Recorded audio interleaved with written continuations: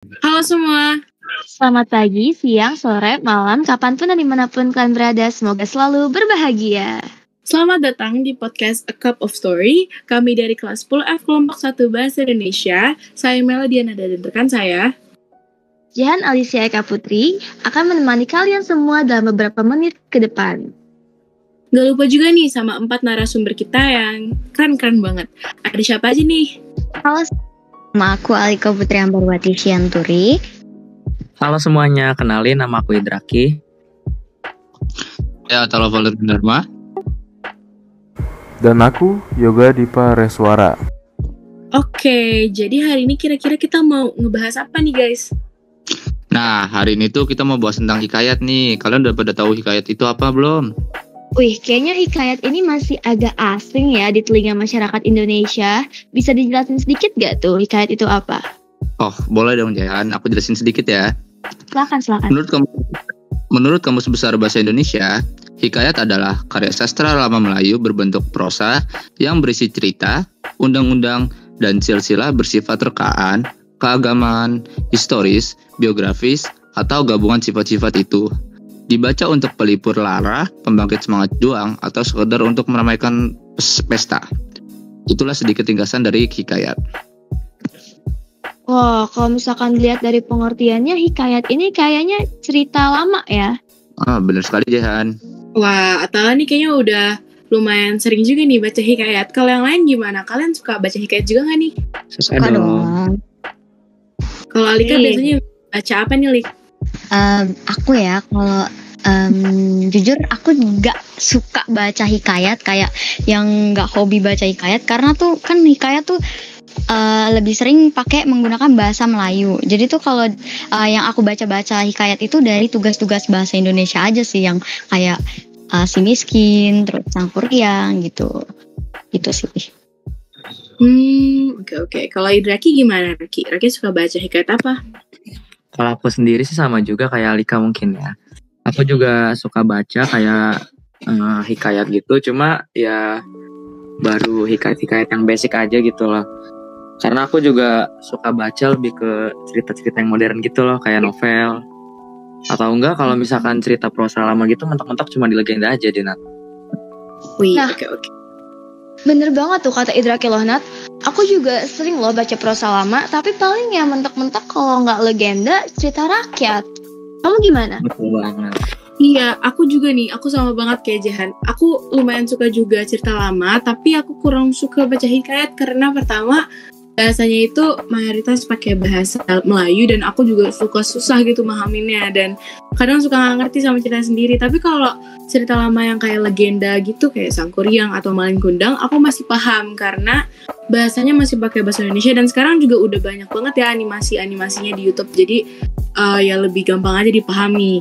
Nih, yang dari tadi diem aja nih, yoga. Nah, kalau yoga nih suka baca hikayat apa, Yok? Kalau aku pernah baca hikayat Indra Bangsawan, Si Miskin, dan yang paling menarik nih, hikayat Panji Semirang. Wah, Panji Semirang. Kayaknya jujur ya, aku baru denger loh nama Panji Semirang. Kalau kamu gimana Nat? Aku juga baru pertama kali banget dengar hikayat Panji Semirang. Boleh nggak sih guys diceritain gitu? Atau kan udah pernah baca semua belum? Udah, pernah dong. buat Oh, udah baca pernah. Boleh. Boleh dong ceritain. Kita belum tahu nih soalnya. Aku kayaknya aku, aku sama Jahan doang nih yang belum tahu. Iya, kayaknya kita doang yang belum tahu nih. Boleh kalian dimulai dari aku. Boleh. boleh. Boleh. Oke, hikayat Panji Semirang itu sebenarnya itu dari tanah Jawa ya. Di tanah Jawa ini ada empat bersaudara yang jadi raja. Di Raja Kuripan, uh, terus Raja Daha, Raja Gegelang, dan Singsasari. Nah, si Raja Daha ini uh, memiliki dua putri. Itu namanya ada nama Galuh Chandra Kirana sama Galuh Ajeng. Galuh Chandra Kirana ini terkenal cantik, terus juga lemah lembut si Galuh Ajeng ini makanya sering iri sama kakak tirinya ini. Eh, terus dikisahkan di Raja Kauripan, si raja eh, saudaranya Raja Daha, dia ini pengen nikahin putranya si Raden Inu Kertapa- Kertapati. Nah, dengan Galuh Chandra Kirana. Nah, di sisi lain Paduka Liku itu selirnya si Raja Daha dia tuh nggak terima kalau misalkan si Galuh Chandra Kirana ini nikah sama Raden Inu Kertapati. Jadi dia merencanakan kejahatan untuk menggantikan Galuh Chandra Kirana ini sebagai menantu raja. Akhirnya dia e, mere- merencanakan kejahatannya itu dia mengirimkan tapai beracun kepada permaisuri, terus menyusun rencana jahatnya ini dibantu oleh seorang petapa. Dia tuh mencoba menggantikan hadiah pernikahan ini dengan boneka emas yang dimiliki Chandra Kirana. Nah, konflik ini bermunculan tuh ketika Chandra Kirana itu menolak per- me- menolak pertukaran bonekanya ini. Terus eh, akibat kejahatan Paduka Liku, ini permaisuri Daha meninggal dunia. Terus Chandra Kirana akhirnya difitnah, akhirnya diusir dari istana. Em, keluar dari istana, eh, Chandra Kirana ini sama pengikutnya ini kemudian membangun kerajaan kecil. Terus menyamar sebagai pria dan menggunakan nama Panji Semirang. Ada yang mau lanjutin? Aku dong, aku dong. Boleh. Silakan. Silakan lagi. Oke, coba aku lanjutin ya. Nah, setelah mereka eh, setelah eh, Chandra Kirana dan prajuritnya itu membuat kerajaan, mereka nggak punya cara lagi nih, nggak punya jalan lagi untuk membangun kerajaan itu. Jadi mereka mengusulkan untuk melakukan perampokan untuk memperkuat kerajaan mereka. Nah, kabar tentang kerajaan Panji Semirang ini, aka kerajaan yang baru berdiri, sampailah ke Kahuripan dan eh, Raja Kahuripan itu mengirim Raden Inu Kertapati untuk membayar uang jujuran atau eh, bahasa gampangnya tuh kayak uang persahabatan lah buat menjalin hubungan gitu. Nah, setelah eh, Raden Inu sampai ke sana, si Raden Inu langsung terkesan nih dengan kecantikan dan kelembutan suara dari Panji Semirang. Di lain waktu, ketika melihat Chandra Kirana atau si Panji Semirang ini yang menyamar sebagai pemain gambu, dia menyadari nih, langsung menyadari kalau misalkan eh, yang pemain gambu itu tuh merupakan kekasihnya gitu. Jadi si eh, Raden Inu Kertapati itu langsung notice saat dia ngeliat ada cewek, eh, ada eh, seorang Panji Semirang yang lagi nyamar ini. Nah akhirnya mereka bertemulah dan juga Chandra Kirana membawa Raden Inu Kertapati ke istana Kahuripan untuk menjelaskan kebenarannya bahwa dia adalah sebenarnya Chandra Kirana. Nah, setelah mendengar kabar itu, Paduka Liku kehilangan dukungan dan Raja Daha menolak memperhatikannya. Adiknya yang mencoba mencari guna-guna meninggal dalam perjalanan. Nah, eh, setelah itu Paduka Liku tuh putus asa ya dan langsung bunuh diri setelah mendengar berita pernikahan Raden Inu dan juga Galuh Chandra Kirana. Nah, dengan demikian Hikayat Panji Semirang berakhir dengan kebahagiaan. Wow, jujur ini menarik banget ya nggak sih Nat? Banget banget banget. Aku nggak pernah dengar cerita yang kayak gini loh. Sama, apalagi di bagian menurut aku nih ya eh, Pangeran Inu Raden Inu itu tuh kayaknya cinta banget sama Galuh Kirana ya kan Chandra Kirana sampai-sampai bahkan ketika dia nyamar jadi Panji Semirang pas deket ditemuin oleh Raden Inu dia tuh udah kayak terpesona duluan gitu. Itu Tuh, lucu iya loh menurut aku. Heeh, banget banget banget. Kalau menurut kalian nih? Ada nggak tuh yang menarik dari cerita ini menurut kalian? Scene atau plotnya gitu yang menurut kalian eh, bikin cerita ini tuh spesial. Mhm. plot menarik di itu sih Chandra Kirana yang dia tuh karena eh, dia tuh kayak apa nih ya namanya eh, nggak putus asa gitu udah diusir dari kerajaan akhirnya dia bikin kerajaan baru sama pengikut-pengikutnya gitu walaupun kecil gitu terus akhirnya supaya memperkuat kerajaan mereka terus dia akhirnya ngelakuin perampokan gitu sih Iya betul. Bener sih ya, itu kayak out of the box banget gitu. Kayak jarang loh ada perempuan seberani itu ya kan di cerita-cerita zaman Iya. dulu gitu. Gimana kalau kita lanjut ke tokoh favorit? Gimana tuh Nat? Oh iya iya. Kalau menurut kalian nih tokoh favorit dari dari cerita ini apa nih? aku dong aku nggak jawab Boleh, Boleh. Eh, Oke. Aku ya tokoh favorit aku tuh si Raden Inu Kertapati sih. Uh, Apa tuh? kenapa tuh? Kalau di ceritanya ini sih si Raden Ker- Kertapati ini mm, kelihatannya kayak gagah sama ganteng sih. Sampai si Paduka Liku nih si selirnya Raja Daha itu kayak gak terima dia nikah sama Galuh Chandra Kirana yang di posisinya tuh anak tirinya gitu. Hmm, oke oke. Kalau eh, Jehan pandangan ke Raden Inu Kertapati eh ke, ke, Raden Inu Kertapati gimana? Tapi susah ya emang Raden Inu Kertapati. Sama Iya. Alika jujur. aku tuh sebesar jujur sama dia kayak wah ini orang emang kayaknya keren itu ya. It boy pada masanya. Iya betul betul. betul. Kelihatannya emang Hmm. kayak aku bilang tadi udah jadi cinta banget sih sama Chandra Kirana sampai ya kayak cerita tadi lah.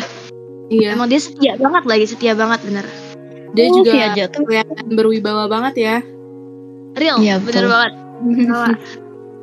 Oke, kalau Idraki tokoh Nah, favoritnya kalau siapa? coba aku ya. Nah, kalau aku pribadi sih aku lebih ngeidolain si MC di cerita ini sih, si Panji Semirang ini. Karena kan Oh, iya. eh, di cerita ini kan udah dijelasin kan kalau dia itu diusir dari kerajaan dan setelah diusir itu dia nggak langsung nyerah gitu aja loh. Dia malah ada effort buat ngebangun kerajaan, terus juga apa memperbesar kerajaannya itu. Dan pada akhirnya mereka bertemu lagi deh. Wah, sama dong Ki. Tokoh favoritku Chandra Kirana juga. Karena menurutku Chandra Kirana ini mempunyai watak yang baik dan dia juga nggak gampang menyerah. Iya, dia ini cocok banget aja jadi main karakter. Banget. Emang tipe yang badas gitu gak sih main karakternya Iya, strong woman. Gila, keren, Keren. sih ya. Nih, atau Setuju, nih yang dari tadi nunggu ditanya mungkin ya. Kalau tokoh favorit kamu siapa, Tal?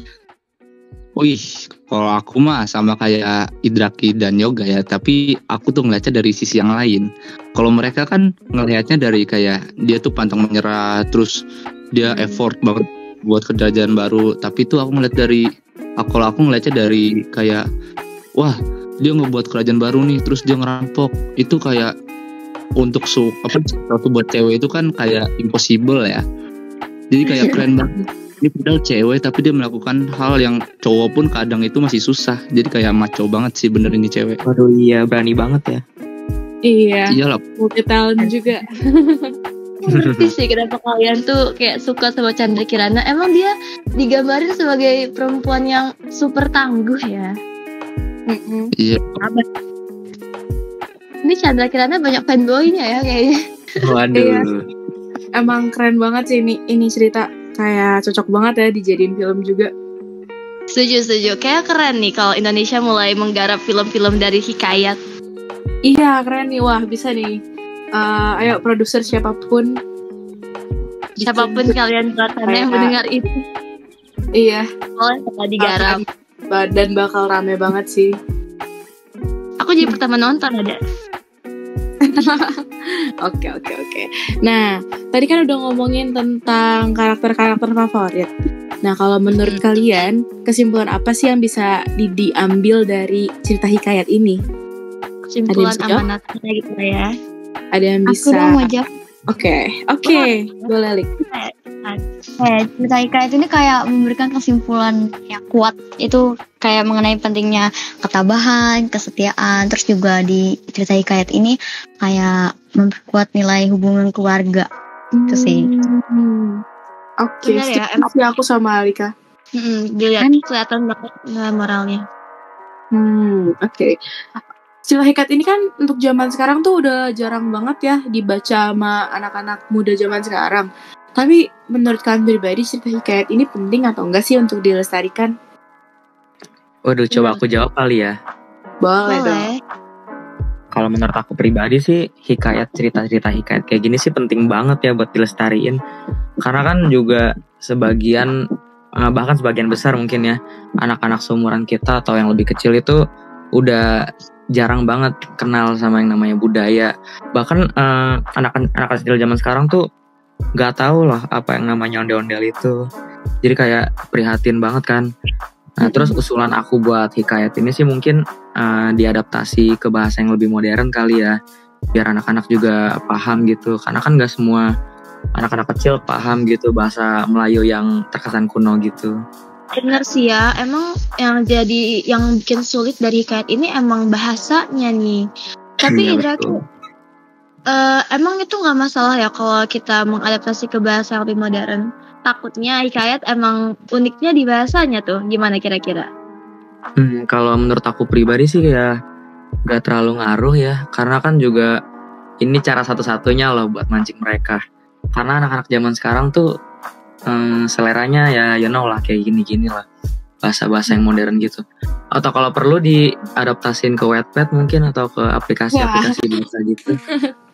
Oh, itu pinter juga. bagus kayaknya ya. Oh, Bener-bener Iya, bagus. ada benernya juga. Bagus kalau jadi animasi Mm-mm. atau kartun gitu ya kan. Iya, dijadiin film-film pendek kecil-kecil. Banyak yang nonton sih kayaknya harusnya ya. Harusnya ya. Tapi Hmm. kalau dari kita dengar tadi emang hikayat itu ternyata menarik ya. Kita cuma taunya Menarik sebatas cerita, cerita rakyat. Ya kan ada, tapi ternyata ada hikayat yang juga menarik Iya. gitu. Iya. Mungkin kayak kalau denger dari namanya awalnya ngebosenin gitu, tapi setelah ngedengerin cerita yang tadi, itu aku jadi tertarik banget nih buat cari-cari cerita-cerita lain hikayat gitu. Kamu gimana, Je? Su- eh, jadi suka juga nggak nih sama hikayat? Suka banget. Kayaknya aku bakalan mulai search search banyak hikayat deh dari sekarang. Kayaknya emang hikayat ini menarik banget. Aku tuh Iya, jadi tambah ya penasaran aja gitu. Kayaknya menarik gitu. Iya, sama-sama sama. Gak kerasa ya, Je, udah lama juga nih kita ngobrol-ngobrol tentang hikayat. Iya nih, padahal aku masih pengen banyak banget pertanyaan yang pengen aku tanyain ke mereka. Tapi karena kita udah, udah di penghujung acara ya kan ada. Iya. Oke, jadi makasih banget ya untuk teman-teman semua yang udah nonton dan makasih juga teman-teman yang udah mau ngobrol nih bareng aku sama Jehan. Semoga eh apa yang tadi kita obrolin bisa bermanfaat buat kalian dan semoga juga kalian suka dengan podcast kita kali ini. Amin. Nah, mohon maaf ya sebelumnya kalau misalkan ada kata-kata yang kurang mengenakan, baik yang disengaja maupun tidak. Jadi aku rasa sekali lagi kita ucapkan terima kasih banyak pada para pendengar yang udah mendengarkan perbincangan kita dari awal hingga akhir. Kita tutup sampai di sini dan sampai jumpa. Sampai jumpa semuanya. Dadah. Bye. Bye guys.